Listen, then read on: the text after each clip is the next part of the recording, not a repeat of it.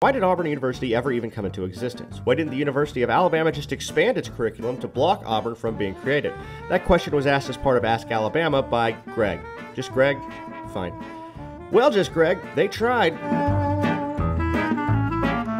Special thanks to Just Greg because digging into this appears to show the real start of the Alabama Auburn rivalry, and it had nothing to do with football. The University of Alabama was established in 1831, but back then colleges weren't what we think of when we think of colleges today. The University of Alabama and most other colleges around the country focused on the classics.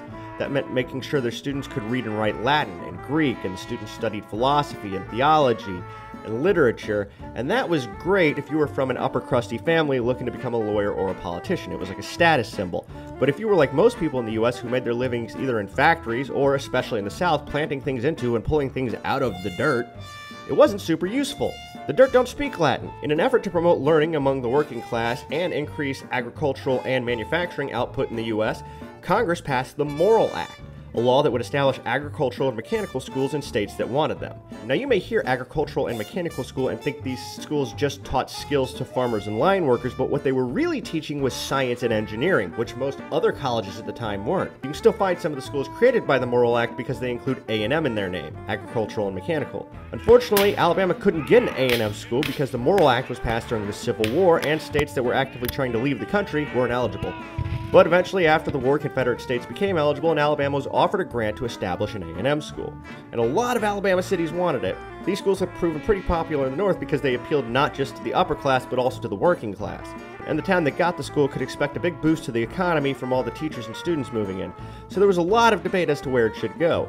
Under the Morrill Act, the grants couldn't be used to build new buildings, so the school had to go somewhere an existing school already was. The University of Alabama made a claim to have the A&M school included as part of their campus in Tuscaloosa, and most people thought they were going to get it because it was the state's oldest university. But they had competition, first from Florence, which offered up a Methodist college in their town to become the new A&M school. They also had backing from a former governor and a lot of power players. And finally, Auburn, Alabama. Auburn, Alabama offered up another Methodist college, but this one was financially failing to the point that if it didn't get taken by the state, it was going to have to be closed down anyway. Auburn had a weak bid. Regardless, lawmakers chose a search committee to pick which city was going to get the new school. Now, if we're being honest, the University of Alabama was never really a frontrunner because it had lost most of its buildings in the Civil War, but they thought they were, and a lot of other people thought they were, and that may explain the bitterness later on in this story. But after voting, the committee publicly announced their decision for the new home of the A&M school.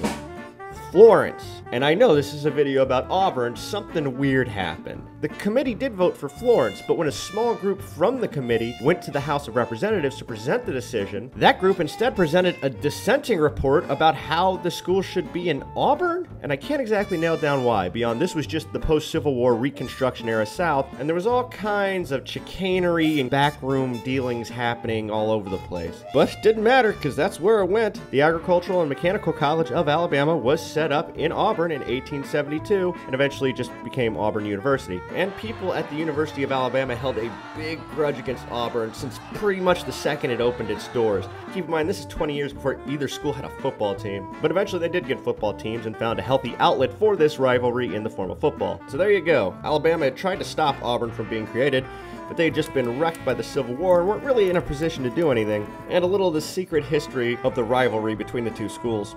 I'm Jonathan Sobolewski for Reckon.